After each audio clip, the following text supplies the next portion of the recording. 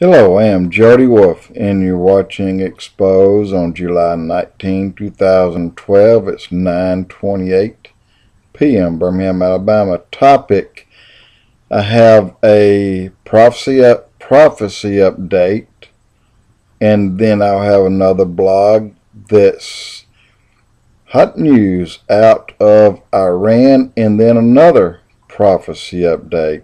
The Iranian news you really need to hear.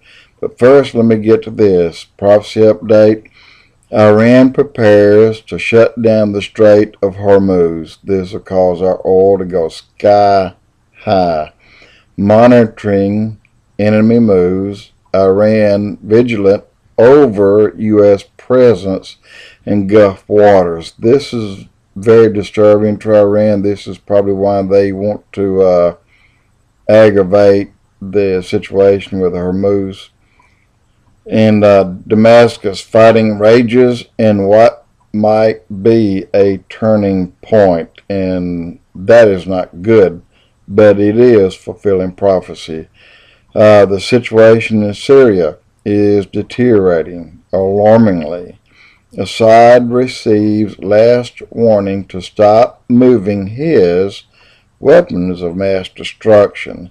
Russia accuses West of blackmail on Syria plans. Of course, terrorized Chicago residents plead for police crackdown on gang wars as murders soar.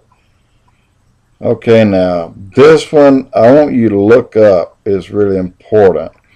12 hellholes are examples of what the rest of America will look like soon.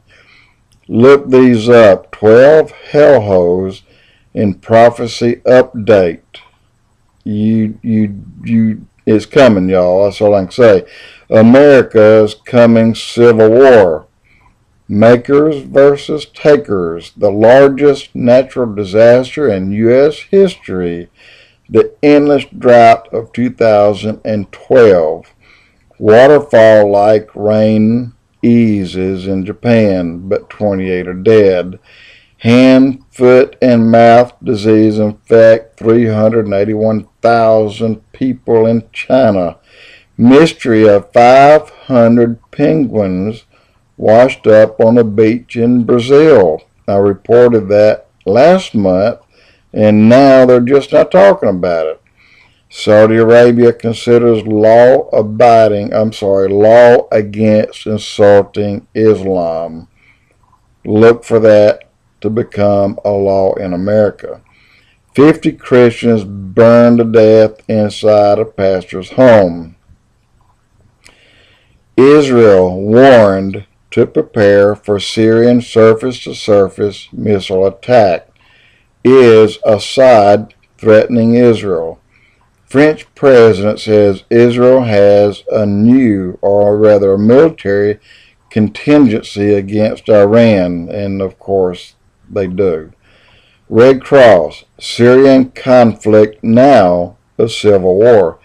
Russia is Putin to meet Annan for Syrian talks. Saudis to give $100 million to the Palestinians, all for weapons, not a dime will go for food or medicine. Iran, Iraq, ties grow stronger. China's economic woes could continue for some time. In fact, they will not end solar storm bombarding Earth today and for a while to come.